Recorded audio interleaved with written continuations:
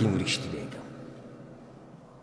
د ګوستا په خپل رب باندې د ګومان دی چې الله به زما د حالت ټول بدل کی او مال به دایره کی او دغه به راکي او پراخ رزق به راکي او ملک ته به لاړ شم بچی به مې نه کملی او دا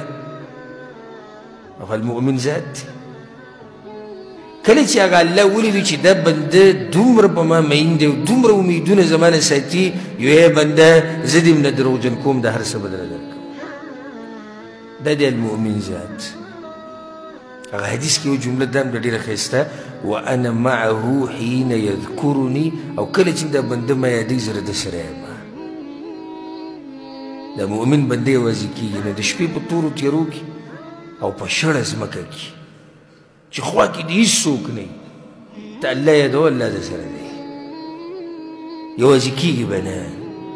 یره به د باندې نه راځي چېرته دا یره ونه کړي چې زه یوازې یم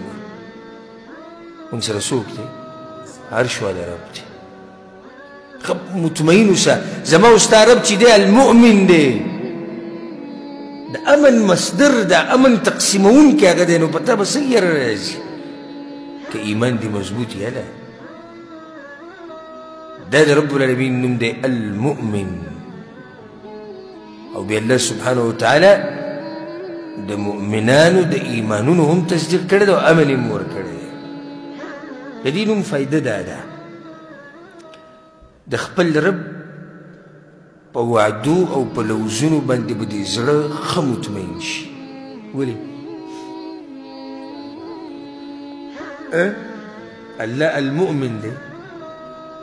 امن ورکوونکی دی په دنیا کې هم په آخرت کې هم په قبر کې هم برزخ کې هم نو دی به وایي چې او الله به د هر څه چې څه وعدې کړي دا به مال راکوي یره به دې ختمه شي خپل رب دا نوم چې سړی ووري المؤمن نو زړه مطمئن شي نو بله فایده دې دره وته چې امن صرف د چا نه غواړه د الله نه غواړه نو بله فایده دې دره وته چې د هغه رب سره دې رابطه نه نو بیا امن د څه شي ته غواړي که بچیان دي که وزیران دي او که حاکمان دي او که هر څوک دي ټول دي دا خبره یاده کړي او زده دي کړي که په ملک کې امن راولي که په علاقه کې امن راولي که په کور کې امن راولي که په معاشره کې امن راولي چې څو پورې هغه امن تقسیموونکی ذات دې نه راضي کړی نو ستا په ملک کې هم امن نه راځي ستا په کور کې امن نه راځي ستا په معاشره کې امن نه راځي ستا په هیڅ شي کې امن نه راځي ځکه چې هغه امن ورکوونکی ذات ته نه خپه دی ډېر خلک منډې وي په امن پسې او هغه امن ورکوونکی چې دغه چې راځي نه دی نو کوم ځای نه به ته د امن میلاو شي امن د په دې راځي چې ته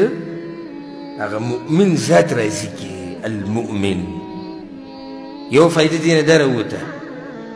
رب العالمین امن ورکون کې دی کنه نو چې کله تا د الله دا صفت واورېدو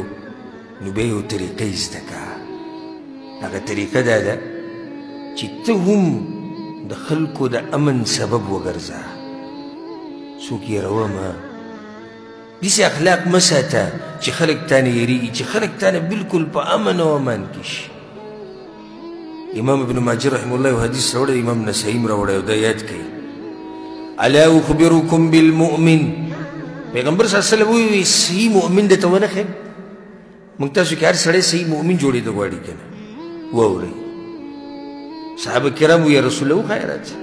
من امنه الناس على اموالهم وانفسهم مؤمن هغه دی چې خلک په خپل مالونو باندې او په خپل ځانونو باندې خپ امن کې دي د دې طرف نه نه یریږي چې دا سړی به زمانه غلا وکړي نه یریږي چې دا سړی به ماله دوکه راکړي نه یریږي چې دا سړی به زما نه مال وخوري نه یریږي چې دا سړی به ماله ګوزار راکړي نه یریږي چې دا سړی به ما مړ کړي نه یریږي چې دا سړی به زما کور ته راووړي ځکه چې هلته هغه سړی مؤمن دی